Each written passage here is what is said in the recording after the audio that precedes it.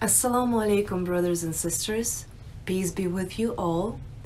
Today's video is going to be kind of different because it is not going to be rhyming, it's not a poetry, it's not scripted.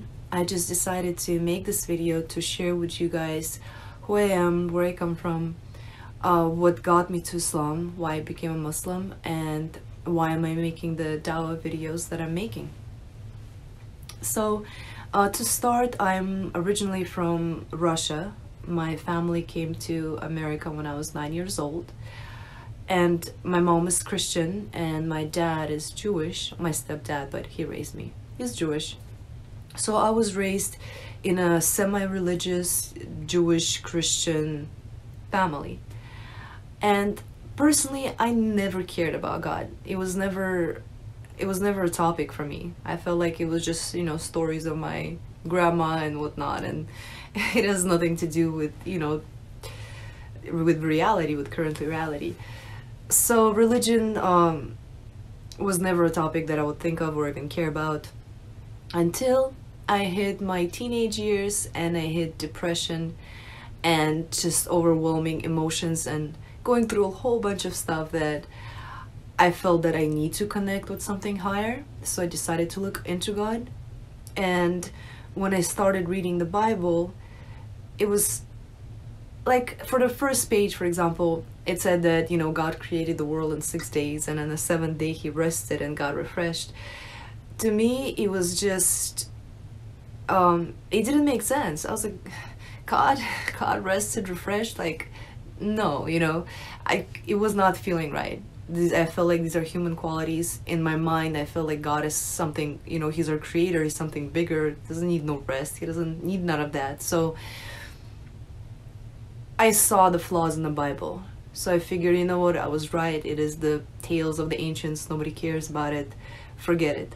But maybe it is not Christianity, maybe I'm just looking to wrong religion, maybe I should look into Buddhism and so I started looking into Buddhism and concept of Tao, which was actually very interesting, but there was also things that threw me off because you Buddhism is not like it's not a religion, okay? You could be you know, a Buddhist Christian, you could be an atheist Christian. Like Buddhist is just kind of a way of life, I guess. So there was no connection with God for me. So that was also put aside.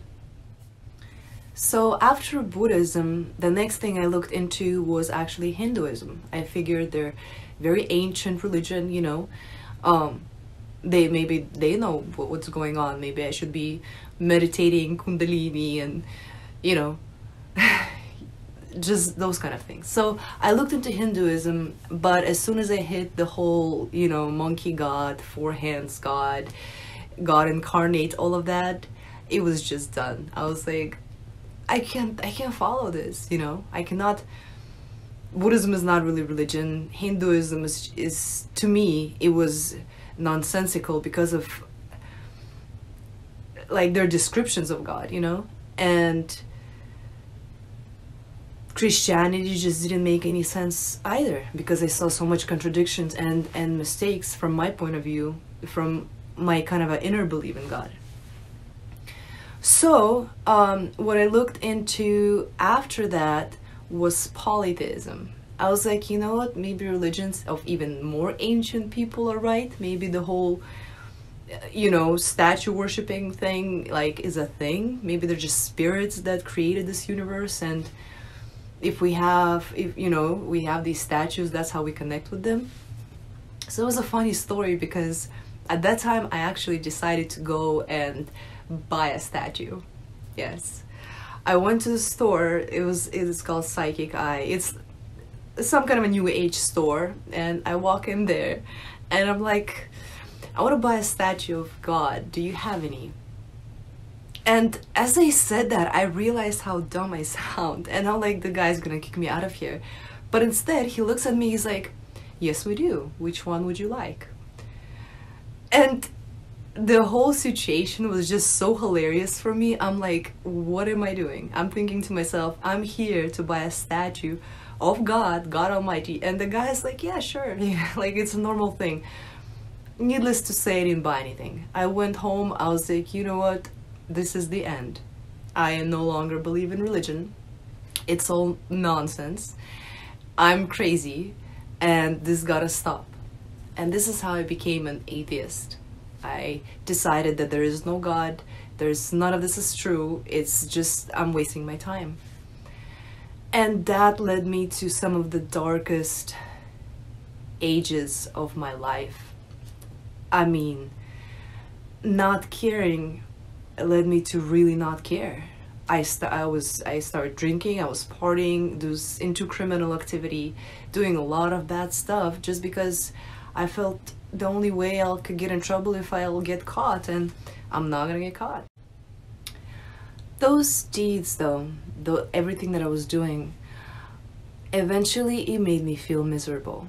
It made me feel like there's just nothing out there, life is pointless you know i could do all this evil stuff and i could get a whole bunch of money doing it but i don't feel happy i don't feel complete i don't feel i don't feel my life is worth anything. And i got seriously depressed. Like i had a concept in my mind that i knew okay if there is god this is how he should be you know? He should not it's he cannot be a human he cannot be something that eats and sleeps he cannot have like two arms three arms or be blue green whatever. Like there it has to be something out there because i could feel it. I didn't have knowledge of it you know the closest thing i knew to god was christianity and that wasn't that just was not cutting it. But i didn't know what it is. And i remember one time me and my girlfriends we were at a actually at a bar and there was a group of guys standing there and i could hear the conversation and i've noticed one of the guys name was islam. His name was islam. And i'm trying to listen kind of to what they're talking about because we're just all standing outside and i could hear them and i hear one of them saying that yeah there's this uh, religion. Like i could hear them talking about islam. I'm not sure even how their conversation about that started. But what i got out of it that islam is a religion. And I, up until then i used to think islam is like some some city in the middle east where like these crazy terrorist people are from. I never even considered it a religion. Like from the religions i was reading about islam just never came up.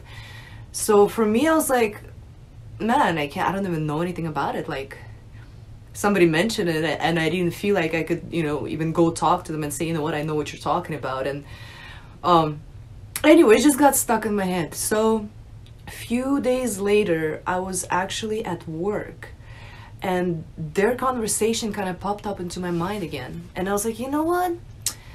Since I already know about all of these other views, world views, I want to kind of uh, top it off and I want to make sure I know everything about, you know, everything in my mind. So I googled Islam, found out that their book, they actually have a book, and it's the Quran, and decided to read it. So the first thing I read was uh, beginning of Surah Baqarah, sec second chapter. And actually in my last video about the Quran, the quotes that come up in the beginning of the video, these were actually the same quotes that I read, the, the same page that I read. And it was talking about how, you know, this message is for those who believe in, in one God, who believe in the unseen.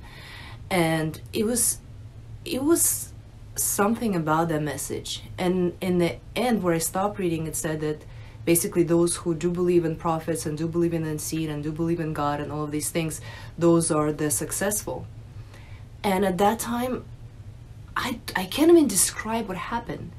As I was reading it, I, I start having tears floating out of my eyes. Like my body starts shaking. I start I start crying. In my brain, I was like, oh my god, this is it. Like I didn't read nothing else. I didn't read. I have no no concept of what Islam is. I just read that first page, and it was like a light bulb in my brain.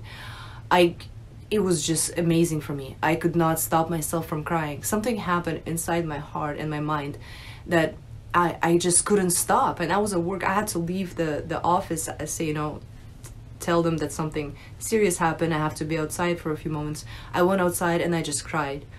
Go back in there, Google how to become a Muslim. And it said, you know, you have to read the Shahada. And I um, in the English letters I actually read the Shahada right then and there without having no info on anything else. I just felt like this is what I was looking for and this is what I was uh, missing. And that's how I became instantly a Muslim, not realizing then yet that it's just it's just beginning of this whole story of what happens after. So I become a Muslim and I know nothing about praying, covering. I don't know any Muslims. I it's just for me it was like just like I was Christian back then. Now I know I'm not a Christian. I'm a Muslim. I didn't feel. I didn't know I have to follow and actually do anything. I didn't know I have to pray five times a day. I didn't know nothing at all. But somehow, what happened? Just few months, some months passed by, and I get introduced to a Muslim uh, Muslim guy. Oh, pause that before before that actually happened, uh, I told my family that I, I converted, and um, they kicked me out of the house. They told me that, you know, you're a Christian, stay here, or if you want to be a Muslim, just go. And I left. I left, and I was, um, you know, part homeless, I guess. I was just sleeping at friend's house. But yeah, a few months after that, I met a Muslim guy and fell in love and got married to him still not knowing much about Islam. And um, the relationship, it was good in the beginning, but then it just went bad because he, as good as he was, he came from extremely strict family who were not happy about him marrying a convert. And I could not connect to anybody. And all of a sudden, I just got hit with like, okay, everything is haram. You know, you cannot go out with your friends anymore. You cannot be drinking. You cannot be partying. You cannot do this and that and this and that and this and that. And my, I was like, whoa, like this is. I mean, okay, it's a religion. I believe in God, but I, I, didn't. When did I sign up to give my whole life away? Like, how am I even supposed to live any differently than what I how I try? But it was. It was too much for me. It was overwhelming for me, and again, I was put in a position where I could not really find any friends and I could not connect with his family. For six years that we were uh, married, I felt completely, I felt alone. And I feel like that is what started to take me away from Islam. So anytime I would see something bad from him, I would actually blame Islam for it. You know, you're not letting me go and see my girlfriends. Um, that's because of Islam, Islam is so I started building this because I had no knowledge in the beginning and suddenly I had a lot of negativity about it I started stepping away from the deen. I started stepping away from religion and I just went astray. I went severely severely astray and I ended up losing my family. It was actually um a mixture of happy and very sad days for me because on one side okay the six year marriage that i had and you know i cared about that person it was it was much more to it but i basically even though i just i lost it all. I lost that i lost my religion but inside i still wanted to help people. I still wanted to be a good person. I just thought that the religion aspect is not for me because there i just don't know enough about it to care as much as I, I guess should be caring. So I just I went astray. I stopped following anything at all. You know, the six years I was praying, I stopped praying. I just I, I went astray. I mean, what can I say? And um what I started to do was I started doing uh, yoga and I got into shamanism. For those of you who don't know, shamans they deal with you know spirits and healing and whatnot. And I actually come. My grandmother is a Siberian shaman, so it wasn't too foreign for me. So I got into learning yoga and got into you know I went to Peru for ayahuasca ceremonies. Um, so I got into that side of kind of a spirituality and then after a few years, I started teaching yoga. It was a Korean energy yoga. So it was more, um, more so an energy practice than an actual yoga per se. Um, I taught that for a couple of years and I got into um, being a, what they call the Dahn Masters, Energy Master. And for a time, I was thinking this is what I'm gonna stick with because I got to help people physically and energetically, and I was at peace with that group of people. They were a very, very nice group of people.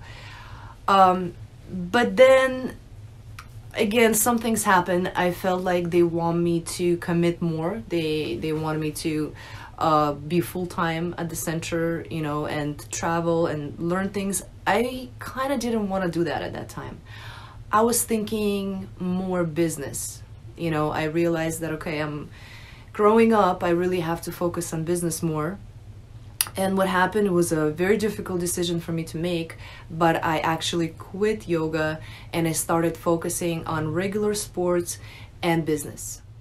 Business life went actually very good for me. I was working um, on my own business, I was helping others uh, grow their businesses. I was into doing um, Amazon, basically brand development and I became pretty successful in that field. Spent a lot of time behind the computer, and when I was not behind the computer, I would do sports like parkour, like extreme sports, parkour, uh, tricking, try to do some gymnastics, um, kung fu, basically a whole bunch of sports and a whole bunch of computers, and that was that. That's what my life was about. I was making relatively good money. I was pretty happy with myself. Um, until I got bored. I literally got bored. I too much computer time made me feel like I want to go into a different field where I could um, interact with people more and not really have to face the screen for you know six, seven, eight hours a day.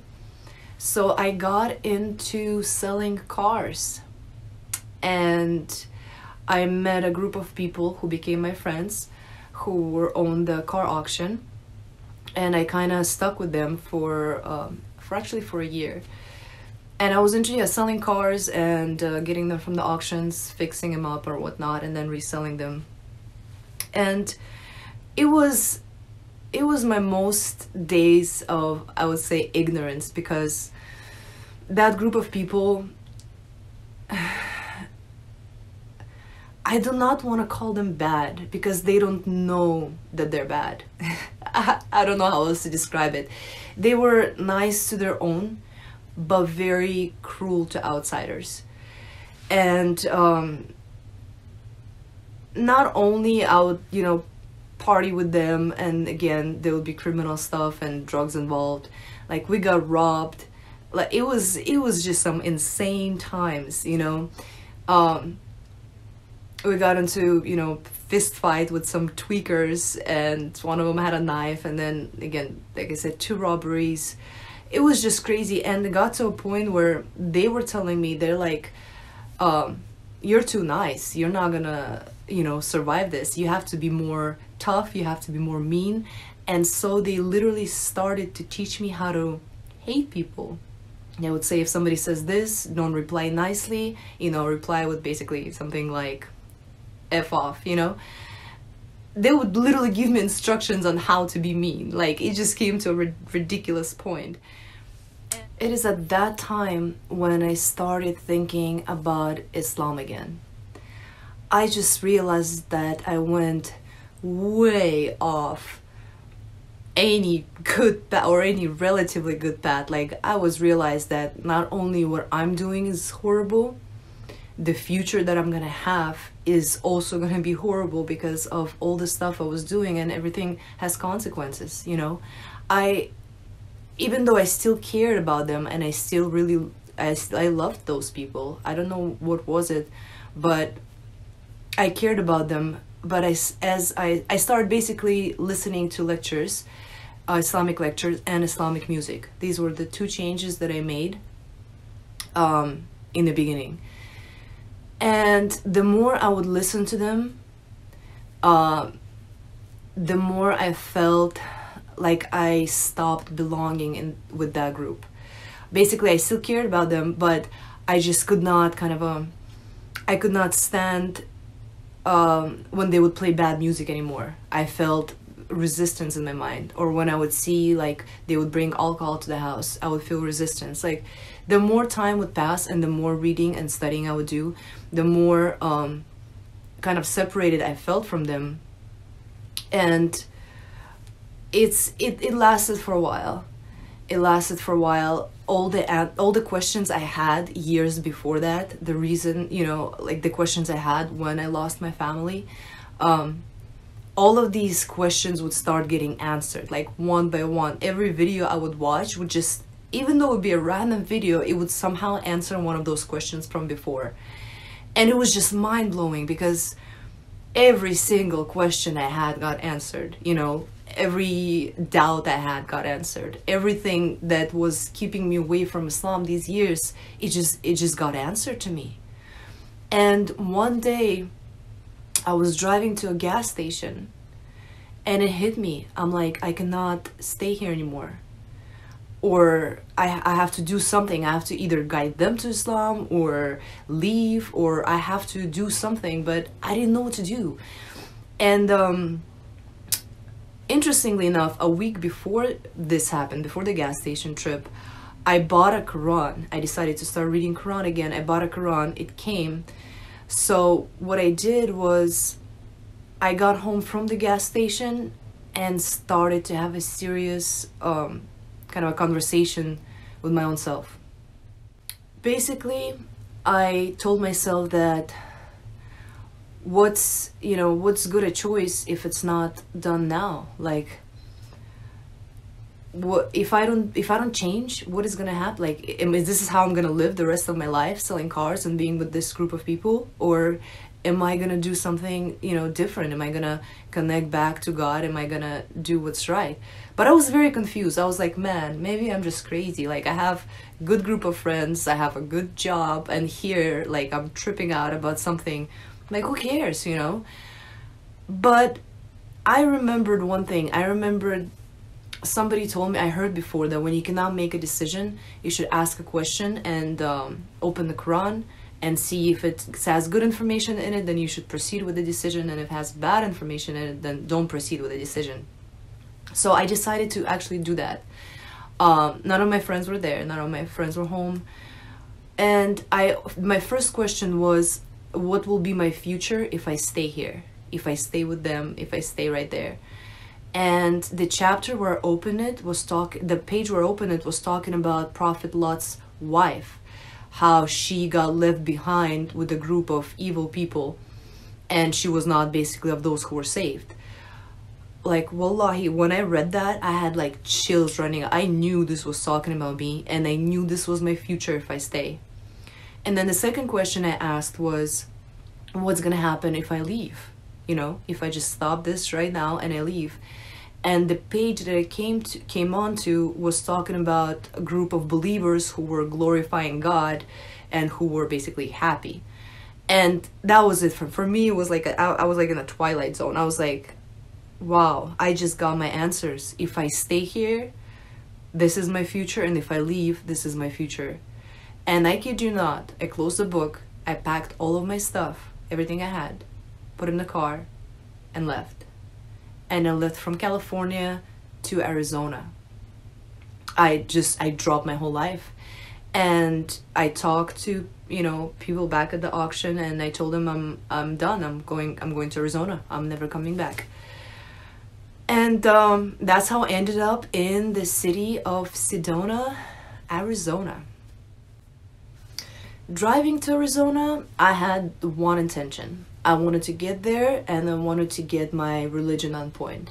I wanted to start covering, I wanted to stop, you know, partying, stop drinking, stop hanging out with bad people, stop doing everything that's not, you know, that God would not be happy with me. And uh, that was my intention. And upon arriving to Arizona and getting a new place to live, I met my roommates who were Islamophobic. And when I told them I'm Muslim, their first reaction was like, uh it was something like this. And just there's few things that they said. I'm not gonna go too much into it here. But few things they said that actually hurt me. And it was frustrating about islam. Like it just frustrated me so bad but i knew that if i'm gonna start responding to them first of all i still had a very short temper. I knew that it's gonna probably end in a fight. And secondly it's not i'm not gonna achieve anything. So i just went to my room and i had to release the frustration somehow. So what i did i started writing. And i wrote a poem called we are muslims which was actually ended up being my first video. Um note here i never really went to school. My education literally consider consists of grade 1 to grade 6 of regular school and then i did not go 7 or 8 i went one year of grade 9 in russia um, for the year that i visited there and that was it. I didn't go to college. I mean i pretty much don't have much education at all. So that night when I got to my room and I started writing and I started writing a poem, it was it was like almost mind blowing to my own self because I'm not a writer and am not a poet. I don't I can't, you know, that's not my thing. So when I read it, I was like, it pre- turned out pretty good, and um, maybe I really felt it, you know. I posted that poem on my Facebook page, and I got somewhat good feedback, you know and I was like, maybe I should start writing more often. Maybe I should develop this in me. Maybe one day I could become a, you know, an English teacher or something. I kind of had these thoughts. Uh, but that was about it, you know. I was excited about the poem, turned out to be nice, but I didn't have any more thoughts further than this. So, a few days after I wrote that poem, um, it was, I don't remember, it was morning or, or noontime. I left my house, I was about to drive somewhere and as I'm walking, all of a sudden, I see this vision in front of my eyes. Like, literally a vision, like a screen of movie playing in front of me. And in that vision, I see American flag and United States of America, right? But United States of America is changing into Islamic States of America. And I was like, what? What, what is it was just such a weird thing for me because I mean you're walking to your car you're not thinking about anything and all of a sudden it's like a movie screen to you and you're seeing this and it's not a normal thing to be seeing. I mean Islamic states of America. But that vision it it got it made my heart beat fast. You know I felt like man maybe this is a sign that I should uh, I should get into dawah that I should help people see Islam from the how I see it because it's really an amazing thing you know? It helped me and cured me so many times throughout my life. And I got very excited about the vision. I was like you know what? Maybe this is it. I'm gonna I'm gonna start doing dawah. I'm gonna start calling people to Islam. You know maybe help a lot of Americans and this is what I should do. So I told my Muslim friend about this vision and I was super excited. I was like, "Yo, I have this. I saw this vision. It's gonna be, you know, great. Let's uh, let's do something. You know, let's help people in America find Deen and all that." And his reaction, though supportive, it uh, it wasn't as enthusiastic as as mine was. He's he told me pretty much simply that you have no idea what you're getting yourself into and there's just so much of politics stuff that you don't know and even though it's great and I support you but yeah, give it some thought. His reaction kind of brought me back to earth. I was like, okay, I saw something, it's over, you know? Like, I'll just study Deen by myself and, you know, whatever God guides me to, He guides me to, and this vision was just, was just nothing. I basically scrubbed it over, like, brushed it off and kind of forgot about it for, for about two days. Um, until I had a near death experience. So, my near death experience happened about a couple of days after the whole conversation with my um, with my friend. And what happened was I was driving on a highway, um, and the speed limit there was 75 miles an hour. And my car comes to an incline, and I'm driving and I'm realizing the car is gaining speed so I want to press brakes to slow the car down and I press my brakes and the brakes do not work. Yes, I am flooring them 100% to the floor and nothing is happening and because the car is on the incline it starts to gain speed. So I'm terrified. I'm terrified. my brain starts processing this information, realizing that this is it. This is how most likely I'm gonna die. I'm panicking and there's cars around me. So I'm like honking, you know, turning on my um, emergency lights so people get out of my way. And I'm looking at my speedometer and it goes like 75, 80, 85, 90, and it starts going past 90 when I'm realizing that I'm, I'm gonna die. And what do I do? So my first thought was I have to call my mom. I pick up my phone. At that point, I just pick up my phone because I know that I'm I'm done. There's nothing I could do. I want to call her. My phone has no signal. So um, I put down my phone and I start praying. And I start asking God that if this is my time, please take me painlessly. And I start saying my shahada, which is basically what you're supposed to say when you're, you know, when you're dying uh, or becoming a Muslim. You say a shahada so I said my Shahada and I was like, God, if this is it, I'm ready to go. You know, take me. I don't want to feel pain. I'm done. And because I knew that if I try to press emergency brakes, like the car might spinning, I didn't want to hit anybody else. So my plan was to just to throw myself off the road because there was like a big ditch in there. And because of the speed I was going, which was way past 90 at that point, I knew there was no chance of survival. Um, so I say that and I asked God to, to basically save me. I said, if if you take me, I'm I'm ready. But if you do save me, I promise that I'm gonna spend the rest of my life on your path. And as I say that, I press brakes one last time, and subhanallah, it works, and my car starts slowing down. I cried. I was I literally started crying. I stopped the car eventually, and for a few minutes I was I was just crying nonstop. I was shaking.